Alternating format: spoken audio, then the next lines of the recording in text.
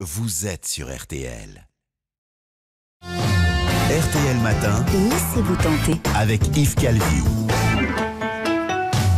Et nous entamons une sélection de très beaux livres en ce mois de décembre. Dans un instant, Bernard Lehu nous présentera des ouvrages qui ont pour thème essentiellement l'histoire. L'ex-star de l'opéra, Nathalie Dessay poursuit son chemin dans la chanson. Elle interprète 14 titres de Claude Nougaro dans un album qui vient de sortir. Elle nous présentera ses nouvelles versions au micro de Charlotte Latour. Nous n'oublierons pas le programme télé de ce mardi soir avec Isabelle Morini-Bosque.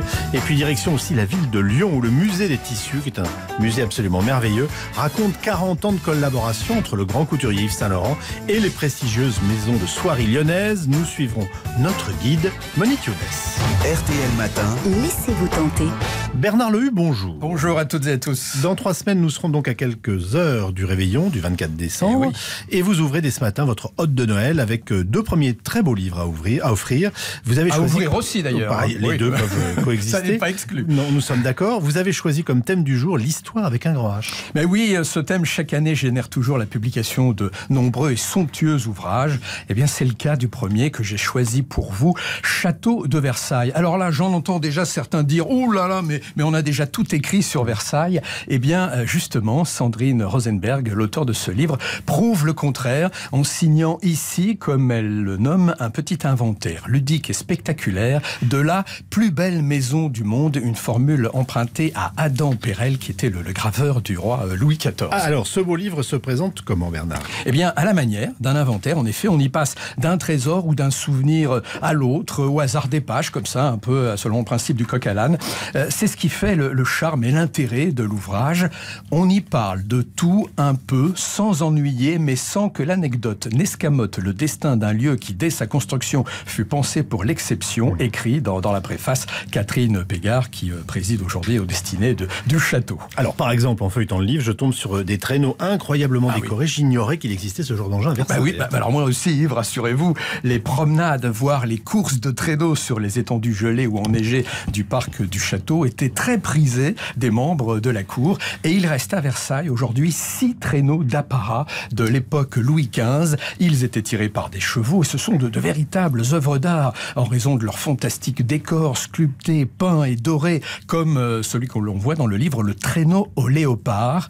Euh, autre trésor, le bureau de Louis XIV aussi, alors là, un chef-d'œuvre d'ébénisterie, revenu au château après plus de 260 ans d'absence. On découvre ou on redécouvre d'ailleurs des événements qui ont marqué l'histoire de Versailles, euh, toutes époques confondues. hein. Ah oui, alors comme deux concerts étonnants à près de deux siècles de distance. Le premier, en 1763, un petit génie âgé de 7 ans compose et joue du clavecin. La famille royale est sous le charme de... de, de Charles Mozart. Trouvé, oui, ben voilà, Wolfgang Amadeus Mozart.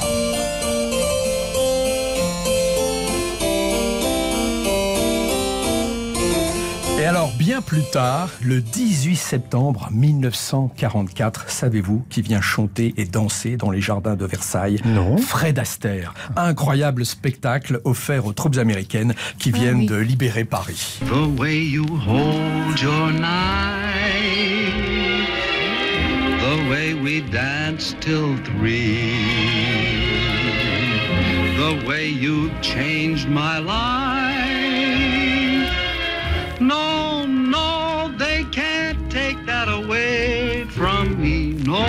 Formidable, alors formidable photo hein, dans le livre de Fred Astaire en uniforme de soldat américain dansant et chantant devant le château. C'est une des pépites de Château de Versailles, petit inventaire ludique et spectaculaire publié aux éditions du Chêne. Ça coûte 39,90 euros. Autre beau livre dans votre hôte de Noël, Les arbres témoins de l'histoire. Alors là, lui aussi superbement illustré.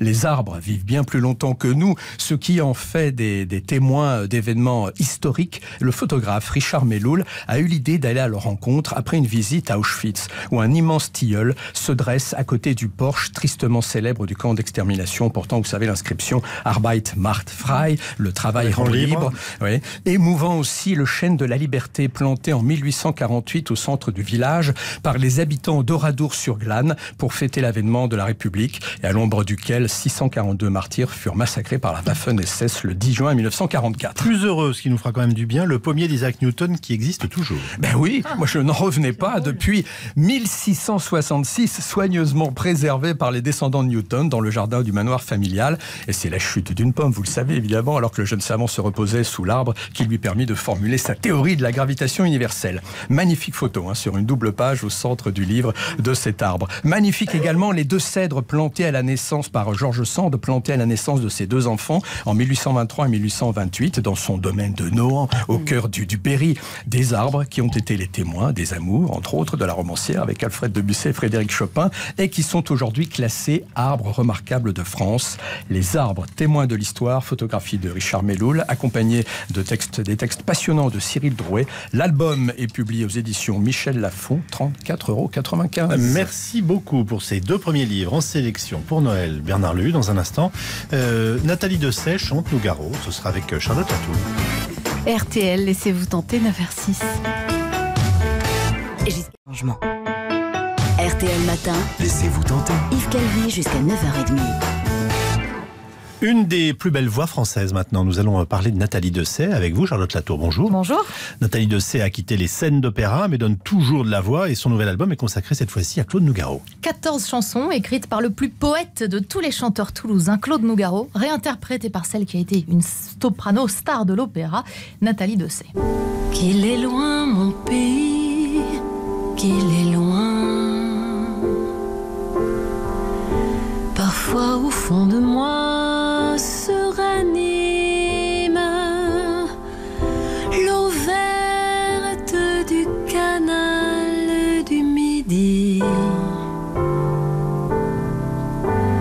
la brique rouge des minimes. Oh mon pays. Au Toulouse, la ville où est né Claude, où son père, Pierre Nougaro, a fait ses débuts comme baryton au théâtre du Capitole. Même chose d'ailleurs pour Nathalie Dessay. Elle aussi, elle a commencé au Capitole comme choriste, tout d'abord, à 21 ans, avant de devenir la soliste que l'on sait. On pourrait penser que c'est drôlement audacieux de reprendre Toulouse, par exemple. Au début, je voulais pas. Et en fait, euh, je la chante d'une manière tellement différente de Claude. Quelque chose d'extrêmement intime et doux. Ça n'a rien à voir avec l'explosion et le feu d'artifice que lui euh, proposait. Euh, J'avais envie d'un souvenir euh, beaucoup plus doux, beaucoup plus nostalgique, en fait, de cette ville que j'aime beaucoup. Voici le Capitole, j'y arrête mes pas. Les ténors enrhumés tremblaient sous leurs ventouses. J'entends encore l'écho de la voix de papa. Sont connus tous les deux, Nathalie Dessay et Claude Nougaro. Alors Nathalie Dessay a toujours connu Claude Nougaro et ses chansons, Oui. mais ils se sont même rencontrés, oui c'est vrai. Il avait tenu à aller la saluer après une de ses performances à l'opéra, ils avaient même dîné ensemble. Elle, elle admire à la fois le musicien et le poète. C'est surtout, euh, oui, un auteur euh, extraordinaire. Ça se dit et ça s'écoute comme de la poésie à part entière, comme Brassens par exemple. Il y a une sorte de scansion même dans sa façon de chanter. Alors lui, après, euh, dans sa façon de chanter, qui est très particulière, avec cet accent et euh, cette façon de marteler les mots qui lui était très propre, moi c'est évident, je, je, je fais pas ça du tout. Je propose vraiment un autre éclairage. Dans une ferme du Poitou, un coq aimait une pendule. Chez les cocottes en courant. Qu'est-ce que c'est que ce coq, ce cocktail, ce drôle d'oiseau, ce vieux coucou qui nous méprise et qui ne nous donne jamais préférée de Bernard Lehu, le coq et la pendule. Un univers dépouillé, pas d'effet de style sur cet album, au contraire une ambiance intimiste, presque une pudeur insoupçonnée chez la chanteuse, y compris dans sa voix et même dans sa voix parlée d'ailleurs. C'est une nouvelle façon d'appréhender le micro. J'avais déjà commencé euh, sur les albums précédents, mais d'une manière un peu timide. Là, je chante euh, avec une voix plus grave, plus douce, euh, plus intime. Je dis toujours que la voix d'opéra, c'est ma voix de folle, ma voix d'extraverti, ma voix de passionnariat presque. Et euh, la voix de chanson, euh, celle que j'utilise en tout cas sur cet album, c'est peut-être le vrai moi, plus doux, plus calme, j'allais dire plus vrai, mais tout est vrai en fait. C'est simple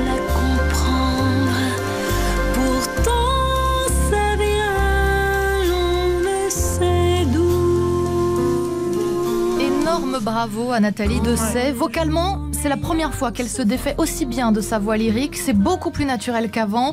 Rappelons-le, après 30 ans de carrière à l'opéra, elle a quitté le monde lyrique il y a 6 ans, mais n'a jamais cessé de chanter depuis. Elle continue même à prendre des cours d'ailleurs, hein, pour ne, ne plus passer en voix de tête dans les aigus, pour ne plus chercher à projeter la voix à tout prix. Elle apprend, comme elle aime le dire, à déchanter. Ça c'est le, fameux thème de Dave Brubeck euh, et ça c'est génial de la part de Claude de- d'avoir trouvé cette histoire sur un thème au- aussi instrumental en fait. Là j'ai beaucoup de mal à l'apprendre par cœur par exemple celui-là. Ça ça va très vite, on n'a pas droit à l'erreur, on n'a pas le temps de réfléchir à ce qui vient ensuite, il faut vraiment que le corps le sache d'une manière automatique. Et je sais que c'est une chanson dont Claude lui-même avait peur à cause de la mémoire. 200 briques. Somme toute, ça pouvait aller. Mon esprit se mit à cavaler sur était ma planque. Aux manettes, c'est-à-dire pour les arrangements et la réalisation de l'album, l'incontournable chef d'orchestre et arrangeur Yvan Cassard. Lui-même a beaucoup joué avec Nougaro sur les derniers albums de l'artiste. Il a retravaillé ses chansons afin d'en faire des costumes sur mesure pour Dessay. Sur l'écran noir de mes nuits blanches, moi je me fais du cinéma sans pognon sans caméra. Ils peuvent tous partir en vacances. Un portrait bleu de la chanteuse sur fond noir, la signature de Claude Nougaro souligne le tout. La pochette même de l'album révèle son caractère intimiste et Nathalie Dessay, une Nathalie Dessay nouvelle est arrivée. Sur l'écran noir de Mes Nuits Blanches, nouvel album de Nathalie Dessay, il est paru chez Sony. La tournée Nougaro débute en mars. D'ici là, vous la retrouvez dans un programme Broadway à la scène musicale de Boulogne-Billancourt le 20 décembre et puis jusqu'au 6 janvier également au théâtre, au théâtre Montparnasse aux côtés de Macha Merrill dans La légende d'une vie de Stéphane Zweig.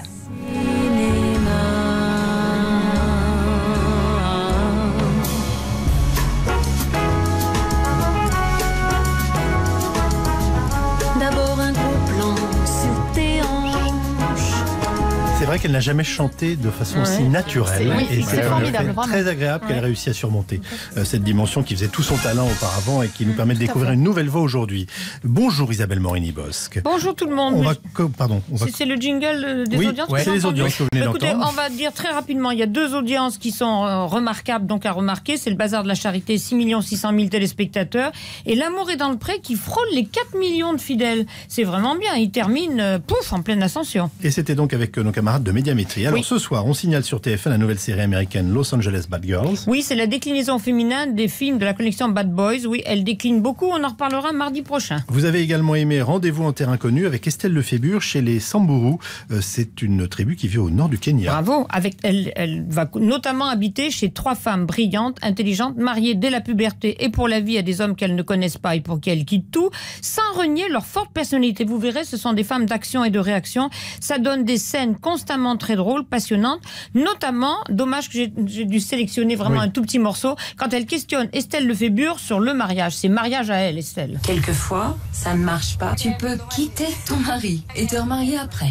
Oui, plusieurs fois. Et là, tu as un mari? En ce moment, je vis seule avec mon fils. Mais j'ai déjà été mariée. Le papa de mes deux filles, on est resté 11 ans. Et après, plutôt que de se disputer tout le temps, on a préféré se séparer. Et depuis votre séparation, tu as eu un nouveau mari? Oui, j'ai un autre petit garçon que j'ai eu avec quelqu'un d'autre. Et tu es toujours avec cet homme-là? Non, je ne suis plus non plus avec le papa de mon fils. Si je comprends bien, il y a eu un premier mari, puis un deuxième, tu en cherches un troisième Voilà, la réponse ce soir sur France 2. Ah, le temps a beau être sec, vous verrez Estelle sur les rames. hein. C'est passionnant, j'ai beaucoup pleuré évidemment au moment du départ. Mais voilà, impossible de ne pas citer en face sur M6 la seconde demi-finale de la France à un incroyable talent, avec comme invité surprise Philippe Catherine, égal à lui-même, qu'est-ce qu'il est drôle. Des numéros prodigieux, parmi lesquels, côté chanteur, la jolie Marilou, 13 ans, dont la voix est ce soir noyée dans une bande-son que le jury juge tellement mauvaise qu'il lui demande de tout reprendre a cappella. Car on a tous le même soleil et la même lune sur nos sommeils. Et on a tous une main à tendre. Peut-on encore vraiment attendre? Car on a tous le même soleil. Voilà. Moi, quand je chante a a cappella, c'est pas du tout le même effet. Il y a à côté, chez vous, euh, comme une feuille d'automne qui tombe de l'arbre, qui est tout à fait adorable. Voilà, Philippe Catherine dans le texte.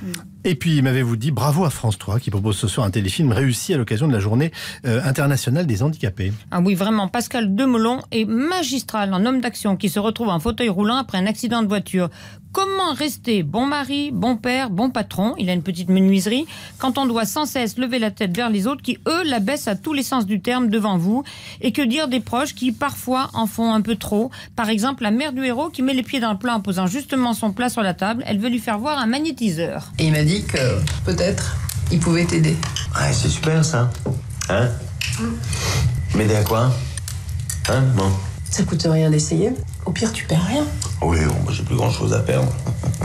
Ah mais putain, arrête tes conneries, maman. C'est pas des conneries, mais t'as le droit de pas y croire. Ah bah alors, euh, je te crois pas. Voilà. Tu sais pourquoi? Parce que j'ai la moelle épinière sectionnée. Sectionnée, tu comprends? C'est-à-dire que je peux plus marcher, je peux plus aller courir. Et puis il y a plein de choses que je ne peux plus faire, hein, qu'un homme normal peut faire. Je sais pas si tu veux que je te fasse un petit dessin peut-être? Hein Alors Devant on les a enfants. mal pour, pour, pour sa mère, mais c'est vraiment un téléfilm qui est bien vu. Son épouse, c'est Anne-Marie Vin, tout aussi prodigieuse que j'ai joint hier hors de Paris. Elle s'est beaucoup investie dans cette fiction, tout en sachant que côté audience, ben forcément, c'est pas gagné. Euh, non, voilà. parce qu'on a une énorme concurrence en plus. Ils nous aident pas, France.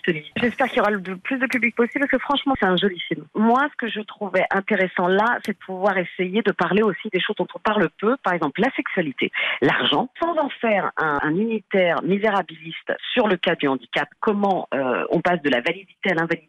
Souvent, en télévision, on a du mal. Ah oui, mais ça, ça peut choquer. Ah oui, mais ça, est-ce qu'on va l'entendre? Ah oui, mais c'est comme par exemple, je sais que ça a été un gros dilemme euh, chez France Télévisions de savoir dans quelle mesure mon personnage pouvait avoir une relation extra-conjugale à ce moment-là. On a beaucoup rencontré de paraplégiques euh, qui nous racontent tous que c'est un enfer pour eux, mais c'est un enfer aussi pour leurs proches, quoi. C'est vrai que c'est extrêmement difficile de faire euh, le deuil de ce corps. La scène, moi, que j'aime beaucoup, c'est de continuer à rester un couple. C'est des rendez-vous qui doivent se donner parce qu'il faut qu'ils puissent s'injecter un produit dans la verge. Et ça, c'était vraiment une chose qui nous tenait à cœur parce que c'est tellement tabou. Même si, attention, c'est pas un documentaire, hein, mais c'est important.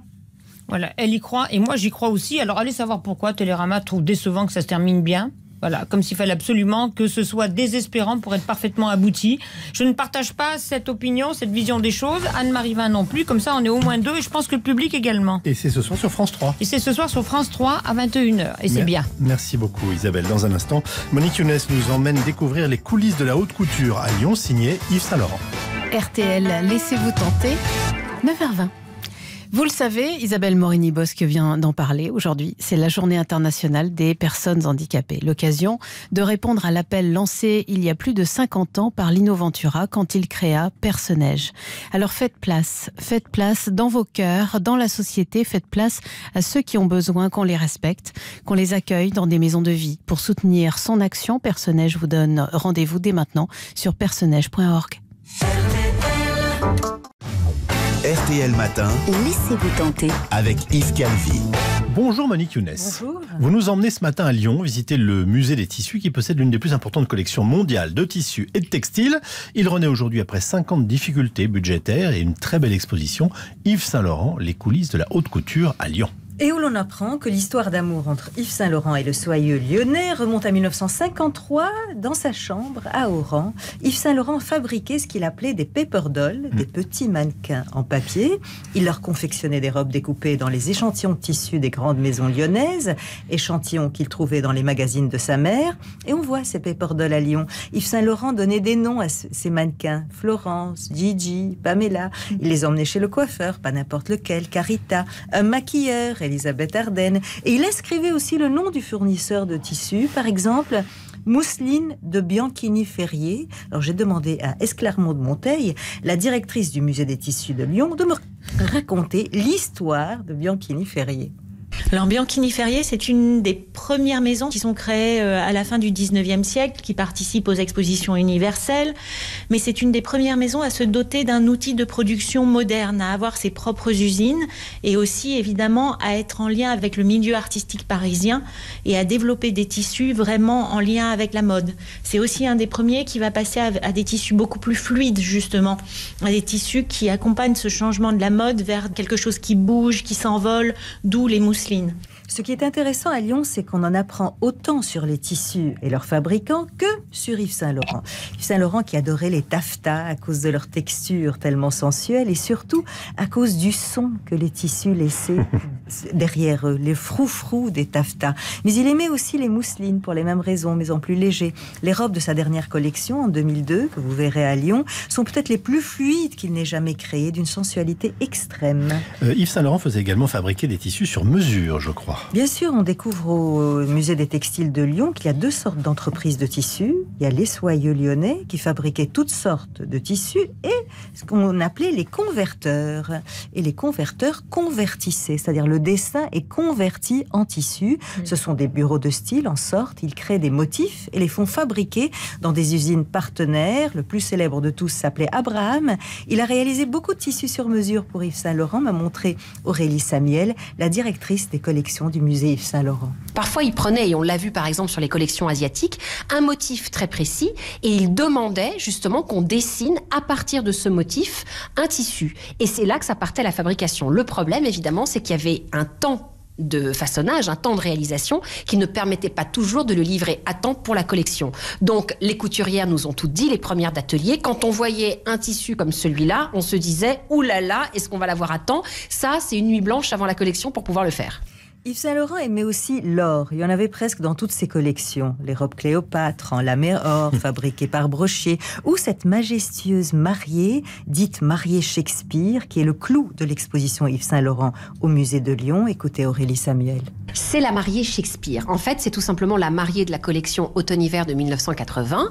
Toute la collection est inspirée par le XVIIe siècle anglais et particulièrement par Shakespeare. Donc c'est une robe dont la forme, en fait, est très proche de ce qu'on peut trouver à la cour anglaise au XVIIe siècle. Saint-Laurent a fait appel à cinq fournisseurs lyonnais ou du bassin lyonnais, dont le manteau principal vient de chez Bucol et a une forme de damassé en or extrêmement euh, sophistiqué et extrêmement brillant, euh, qui permet justement de donner cet aspect en fait somptueux de gloire à cette robe. Ah, alors Monique, l'or, le brillant, en fait, ce sont les années disco en couture, euh, comme en prêt-à-porter. Exact, les soirées enflammées des années 70. Yves Saint Laurent adorait ça. Il adorait aussi les tissus innovants, comme la cigaline, créée au début des années 60, une fibre de synthèse à base de nylon, m'a précisé Esclarmont de Monteil. Ils l'ont appelée cigaline parce que ça imitait les ailes de la cigale, donc c'était aussi transparent que la mousseline, mais avec une structure qui se tenait. Et c'est ça que Yves Saint Laurent a recherché euh, dans ce tissu-là. Vous verrez une robe en cigaline qui a été portée par Romy Schneider, pleine de transparence, avec juste une petite broderie masquant à peine les seins. Une robe assez provocante, comme aimait les réaliser Yves Saint Laurent dans les années 60-70.